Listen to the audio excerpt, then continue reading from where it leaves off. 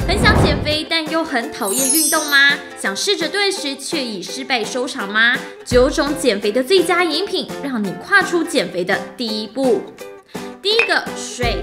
水没有热量，而且对减重很有帮助。在喝水十分钟后，人体的静态能量消耗增加百分之二四到三十，保持水分充足，还可以抑制食欲。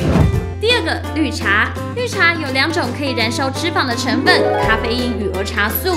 咖啡因是一种兴奋剂，能增加热量消耗。另外，儿茶素也可以加快人体燃烧脂肪的速度，但这不代表可以暴饮暴食，再靠喝茶瘦身。绿茶的作用只在于取代其他饮品。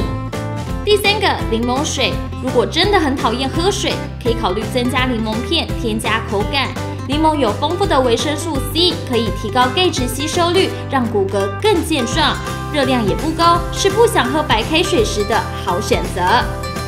第四个姜茶，姜和减脂直接关系并不大，但姜汁能够降血脂、抗氧化、抗糖尿病，还能够预防心血管损伤，改善血糖的水平，并且降低坏胆固醇，而且这些都是容易让体重过重的原因。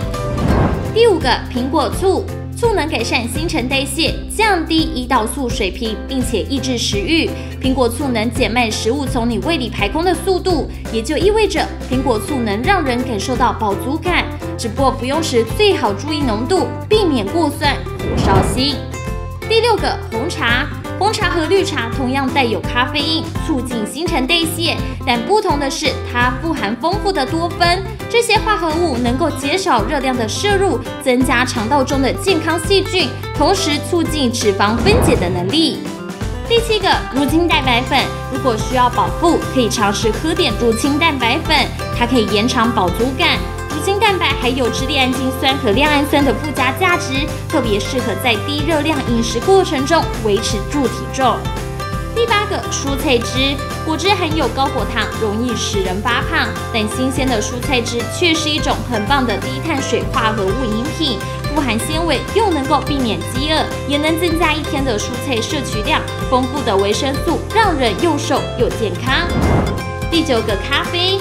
咖啡的咖啡因含量比红茶、绿茶都还要来得多，可以燃烧更多的热量，还有脂肪分解。另外还含有可可碱、茶碱和绿原酸三种可以影响新陈代谢的化合物，所以喝黑咖啡可以减重是成立的。